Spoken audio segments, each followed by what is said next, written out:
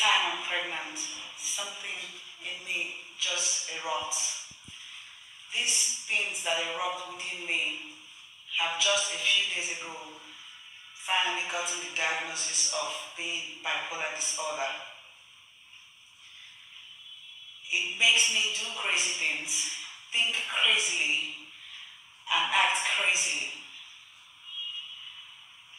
Over the years, I have suffered episodes, and I didn't know what they were, where they came from, these feelings that always made me feel different from the inside for years.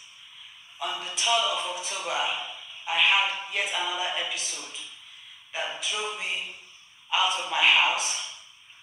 I was I found myself racing to Zenith Bank to withdraw money, to do welcome back of my phone lines that I had destroyed myself. It was as my husband tried to stop me on our way to Zenith Bank that I realized that that was even a Saturday. When that failed, still acutely manifesting from bipolar disorder, I found my way to Southgate Hotel, where Nollywood people usually be camp and make departures from. Prior to that day, I didn't know I had bipolar, but my husband did.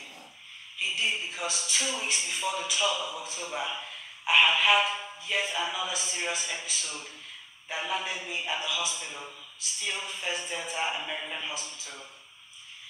It was so bad, I regret most of the actions that came with that episode. But my hospital didn't tell me that he was bipolar when I was discharged.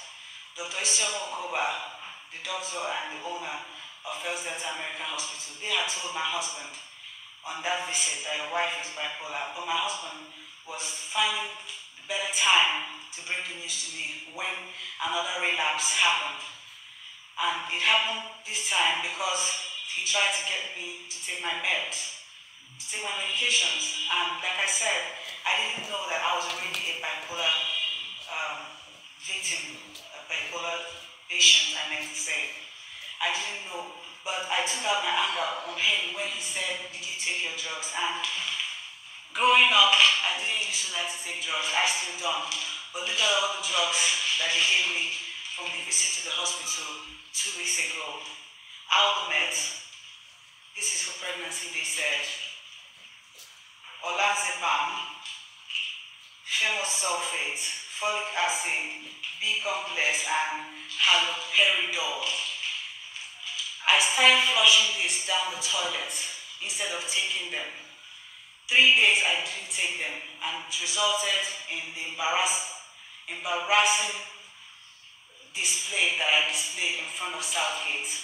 My husband said, take your drugs, but I got angry with him, like, how dare you try to submit like those doctors and nurses that I'm ill and mentally ill. That was his only crime. I flipped it on him like an enemy. And I heard myself saying crazy things like I'm leaving my husband. I, I'm not leaving my husband. I would never leave my husband and my children and my home. My family, having a home, being Mrs. Faani, and being mother to the beautiful children God has given me is too much blessings to take for granted. And so I say this to I say this to as many as are out there that care about me as a person and care about my brand as Chacha Eke Faani that I didn't leave my home. I am not leaving. Saying that I'm living with my life in the video you saw on 3rd October is one out of the many crazy things that I say and that many bipolar disorder patients say when facing episodes or crisis. I realized that the video I also made defending my husband being uh, alleged be a wife beater has got some people even insinuating more mess. My younger brother, whom the only time I have seen him, whom the last time I had seen him is May 12th last year. I had my son Chileri on the 10th of May 2019. I saw you, Ike, on the 12th of May. I have never set eye since then till now. It's over a year, it's almost two years. Even when I called you early this year. You didn't pick my call. You didn't return it either. And here you are out there, putting fire where there's none, creating doubt so that no one will know what to believe anymore because you're my family member. But here I am, seated and telling the whole world that personally, as charity, over the years, even before becoming Mrs. Faani, there have been an age-long strain between me and the Eke family. So it's no surprise that my brother will come to say things that a detractor would say. Ike, stop it. It's not cute. Stop it because I deserve better from you as a sibling, whom I have been nothing but good to. I also realize that there are colleagues out there who, um, Victoria Inyama and Georgina Onuoha, I choose to translate your videos and concerns as part of you loving me because it takes love for someone to go out there and start to make proclamations or raise alarm on behalf of the person. But in this case, there's no need for any alarm that has been raised. This is not me trying to save my marriage, it's not damage control.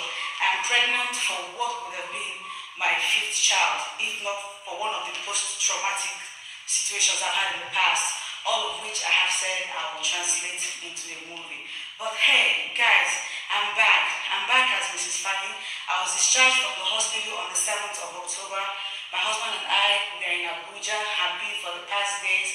I thank him for his patience and understanding throughout this trying period. I'm so glad that I, there's finally a name for waiting they do me since because if not by doing something they do me, I, I wasn't really understanding. I finally do with these drugs. I finally noticed that that thing called bipolar disorder, I'm one of the many people out there that have it. And no, I'm not ashamed to say that I have it. I'm living my story.